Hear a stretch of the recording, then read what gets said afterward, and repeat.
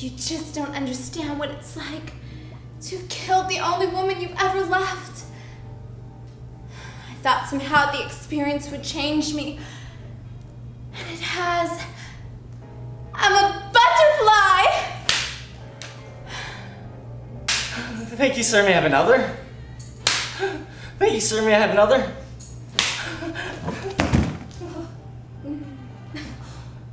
Now go fetch my slippers.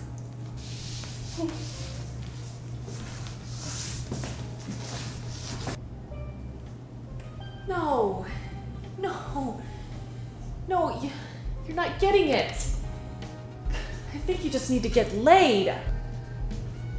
I mean, act. Act like you've been laid. Just take it again from the conch shell.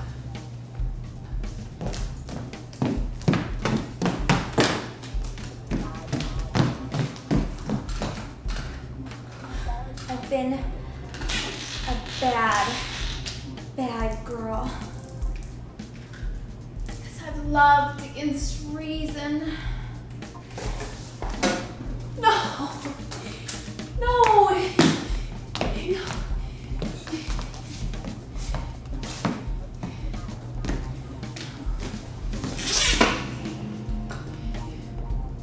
You really suck. Are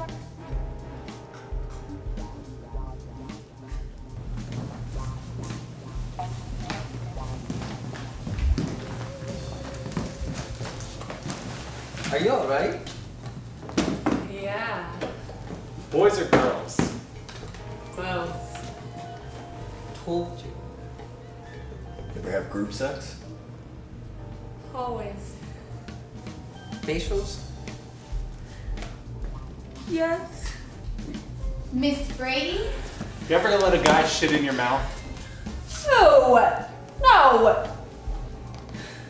Wait. Katie. You are a closet lesbian who's into softcore bondage and light yoga. And yes, I know that's too much for you. Just say the lines and we'll hope that my brilliance will shine through. You are morons. Excuse me. Um, Miss Brady? About my scene? Uh, the kiss? Uh, well,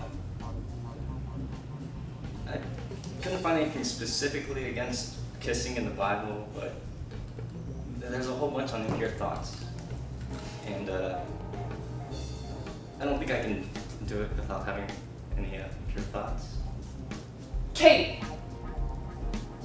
I guess I could give him a blowjob on stage if it'll get your point across. People need to learn to appreciate art, Miss Brady. My, my mom wouldn't like that either. I mean, uh, it, it was a big deal convincing her to let me stay for practice instead of going to um, Bible rodeo. Miss Brady, are your tits real or did you pay for them? Want to get high with us? yes. And yes. Quit it. Miss Brady?